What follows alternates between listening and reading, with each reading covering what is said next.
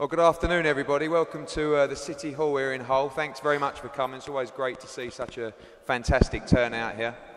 Um, the weather is now brightening up. This is the first part of our activity for today. After this, Kell Brook, Luke Campbell, Tommy Coyle will be out giving everybody a public open workout filmed for the media outside just in the city square. We've got three weeks today till certainly, I believe, the biggest boxing event ever been put on in Hull. One of the biggest boxing events I think we've ever put on at Matchroom, certainly since, since my involvement with the sport. This card, this show, has grown into a huge event with so many great fighters on the bill. Of course, culminating in your very own Luke Campbell making his professional debut. And of course, I think we should give a quick round of applause for him collecting his MBE.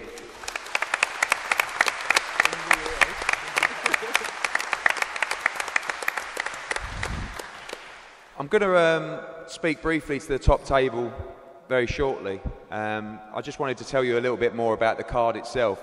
Obviously, going through the table here today, we've got a lot of top young talent from Hull boxing on the card, as well as some of the finest talent in British and world boxing as well.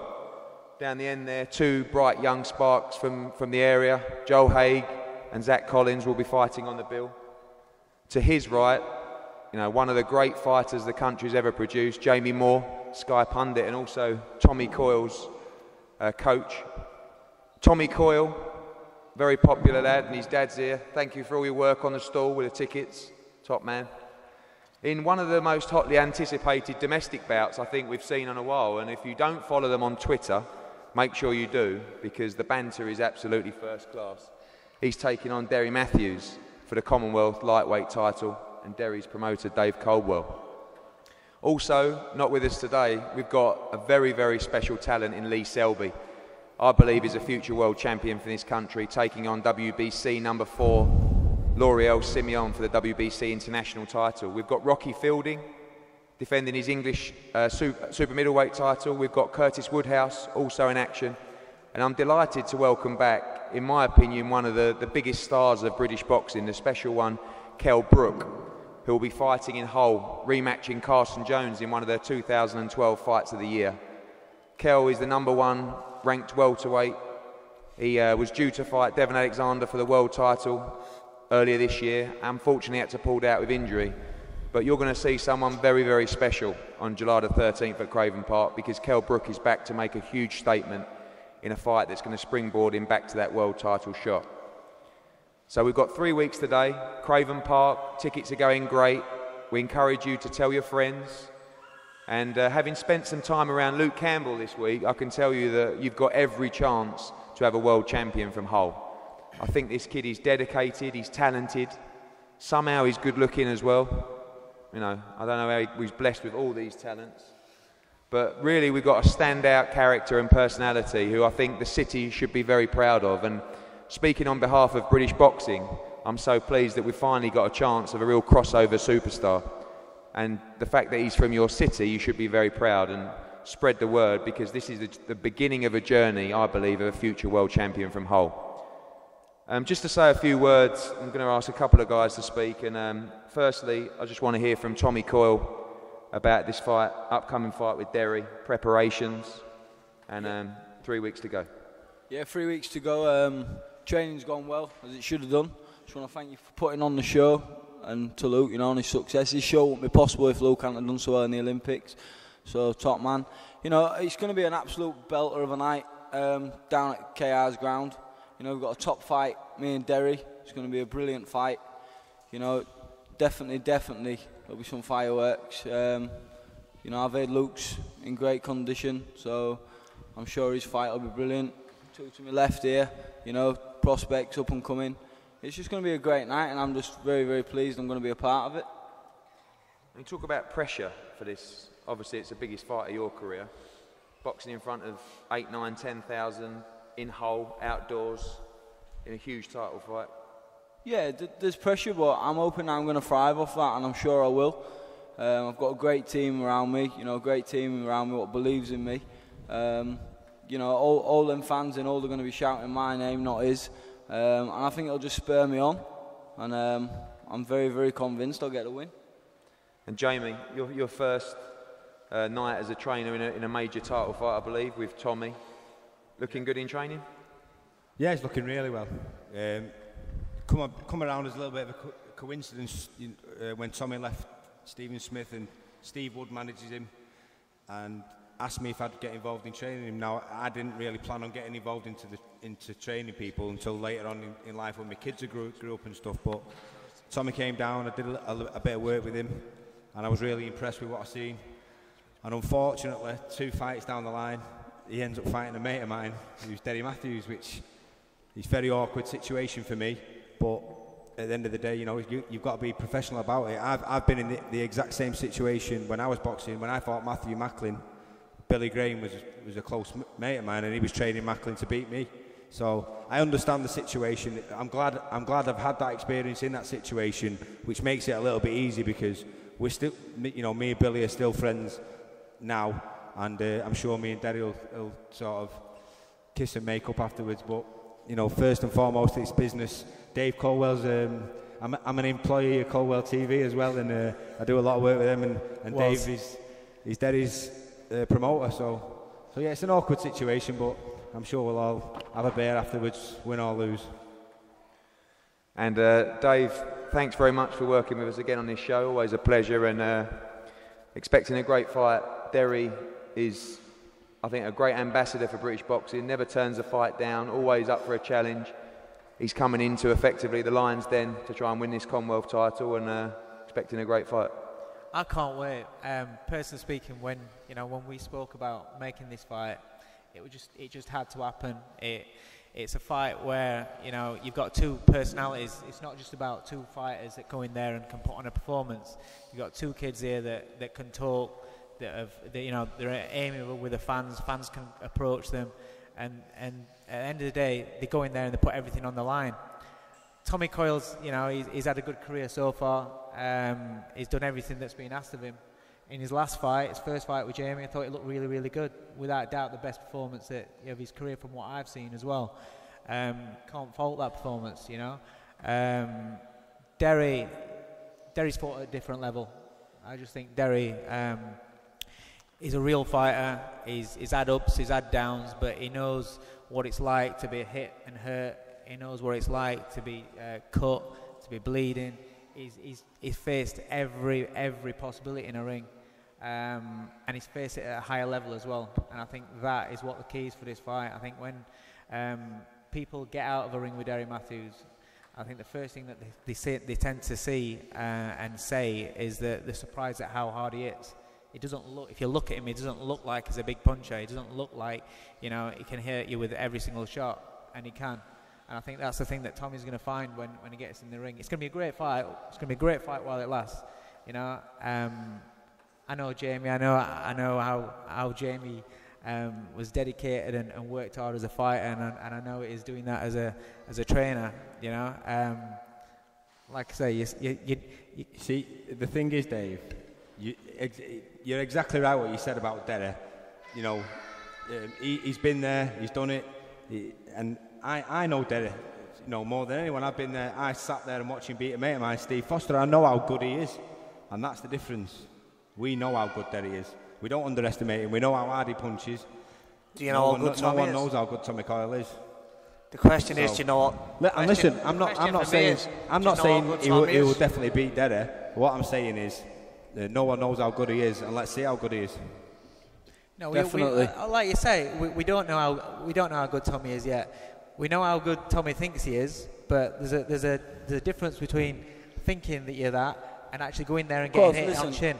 Come July 13th, I'll prove to you, Derry, and all these fans that are going to turn up as well. Derry's got miles on the clock. I ain't got none on my clock. Let me tell you that. I'm fresh and I'm ready, and I'm putting him to bed. Do you know? Have you ever seen a VW? What's you that? stick all miles on a clock on a VW that you want. Don't make any difference.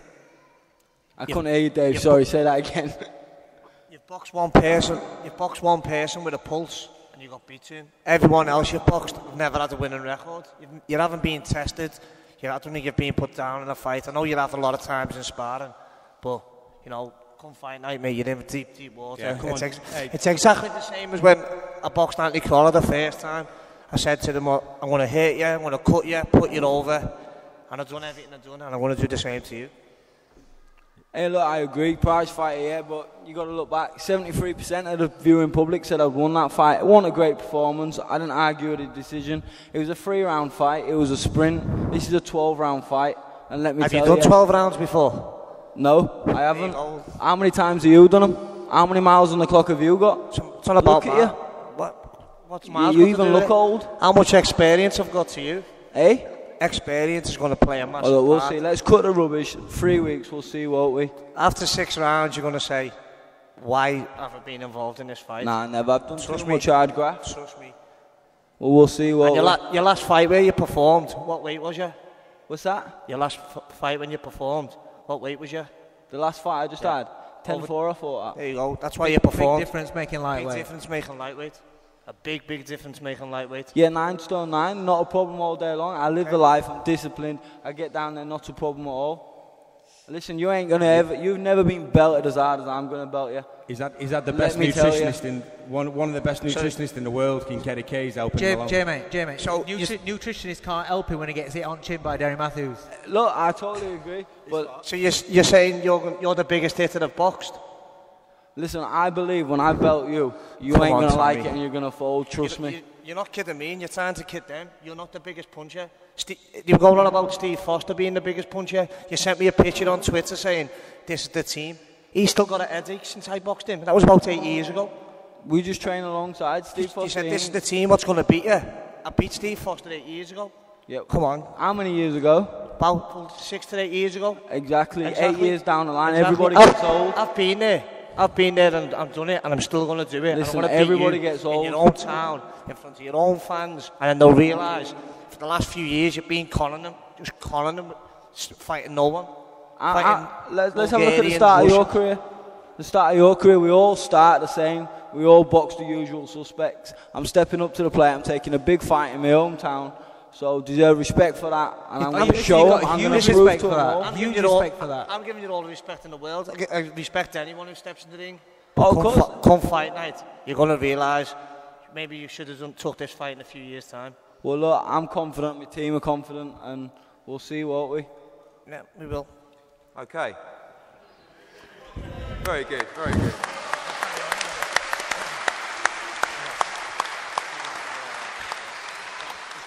I say, who needs who needs Broner and Malignaggi when you've got Coyle and Mathews? It's unbelievable. Um, just to tone it down a little bit now, we're going to go over to the number one ranked welterweight in the world, Kell Brook. Kell, back. We've been Sheffield Arena for a long time now. Now you're outdoors at Hull, just 45 minutes up the road from you, depending on how fast you drive. And uh, I know you can't wait to get back in there. I can't wait to get back in. It's a great card. Can't wait to see this, these two. Um, yeah, you know, you know, last last past few months has been absolutely the worst worst thing I've ever had to go through in boxing um, with a Devon Alexander fight. But you know, I'm on to a new chapter now in boxing. We, we, we've got a plan. You know, I'm gonna, I'm gonna, I'm gonna be boxing on this on this bill against Carson Jones. If you if you've seen the last one, it was very exciting. So that's why we had to do it again. I just can't wait to get back in now. It's been 10 months. Um, you know, I can't wait to get back in and have fun, fun on the night. I'm looking forward to it. It's a great card, open air. Luke Campbell making his debut. Um, I can't wait. And going back to that Carson Jones fight, I remember, you know, you had some problems in your preparations, but I remember after six rounds looking at you and thinking, please get through this fight. And, you know, you were standing there after 12, having won probably 9 and 11 out of nowhere. And I remember being back in the, uh, you know, the dressing room with you, and then obviously we had to go and get checked out as well. And that was the wake up, but this is a chance to put that right because I don't feel that was the real Kell Brook in the ring that night, and I think he'll be buzzing off the chance to beat you again. And I think you're going to try and make a statement. Yeah, I'll be definitely making a statement in that fight. Uh, obviously, in that fight, I did the weight all wrong. Uh, I've got a, a new team on board, you know, a nutritionist, a strength and conditioner. You know, I'm gonna, I'm gonna make sure I put things right in this fight. The first, the first four or five, six rounds you've seen in that fight, I'll be able to do that all the way through. But I'm making a statement. I, uh, I want to get rid of Carson Jones, and I will get rid of him before before the, the distance. But it's gonna it's gonna be a, it's gonna it's gonna be a great night. It's gonna be fireworks. I'm very excited about just getting back in, and uh, you know taking it out on Carson Jones. I can't wait to take it out on him. Good man. And uh, finally, Luke, not long now, three weeks. So much has happened in your life. Obviously, the gold medal, the MBE, and of course, more importantly, dancing on ice. And um, you know, having seen you this week, three weeks to go, you're looking as though you're, you're almost ready now. So yeah, it's um, you know, it's, um, 13 years I've been boxing now, and um, within them I've probably had about two weeks off.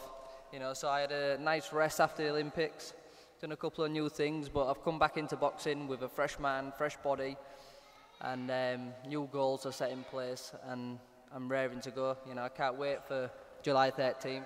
It's going to be uh, really exciting. You know, we've got our boys from Hull. You know, there's a lot of talent in Hull. You know, I'm I'm overwhelmed to be on the same card as you know Kell Brook. What a, what an amazing fighter Kell is. I'm a big fan myself. You know, so I want to watch that myself. So if there's a TV in the changing room or something like that, you know, I'm watching it because that's going to be uh, an exciting fight as well as Derry. You know, I've been watching that guy on TV as well. Um, in, in his fight, it's very exciting. You know, it keeps you on the end of your chair, which is fantastic. Just what the boxing fans want, but not only boxing fans as well. I'm surprised and um, overwhelmed how many um, family tickets that are, you know that are going out as well, and the young kids that want to come and watch and support. And you know, it's great getting pictures with them and stuff like that, and then they want to come and see your box, and it's fantastic. So that that in itself, you know, for the family area to come into um, Craven Park and watch us is is is great. You know, I'm I'm really happy about that. And you know, I've been training hard. I've been getting myself about. I went to New York a few weeks ago, um, taking myself out my comfort zone, sparring out there, and I was in uh, Essex all last week tr- training with uh, Kevin Mitchell and a few of the other lads down there. So it's you know, I'm getting experience. I'm learning. You know, I'm obviously new to the pros, but you know, I'm I'm, uh, I'm learning each step of the way, and I want to put a, an exciting performance on for everyone who comes July 13th. Thanks, Luke. And I just want to um, relay my thanks as well to the, the whole council who have been a huge help in helping us put this event on. Carl Turner there and Mitch and, and the whole of uh, the council because it's so refreshing to come to a town where you know we get the response like we're getting from Hull. And like I said, this is a, a special card not just for Hull but for British boxing. And we're going to witness the beginning of a journey for, I believe, of a future world champion from Hull. So spread the word and um, tell everybody about July the 13th at Craven Park. It's going to be a great night. We're going to be live and exclusive on Sky Sports HD, broadcast all over the world, more than 12 countries live. We're showcasing Hull, we're showcasing Luke Campbell, we're showcasing the very best of British boxing. So thank you very much for your attendance. We're going to be doing a, a photo call up here now, and then that famous head to head between Derry and Tommy, which will definitely be interesting, worth hanging around for. And then um, a few of the guys are going to be out in the square going through their paces, um, getting their final preparation for July the 13th. So thank you very much. Honestly, your support means everything. And uh, we'll see you on July the 13th. Thank you very much.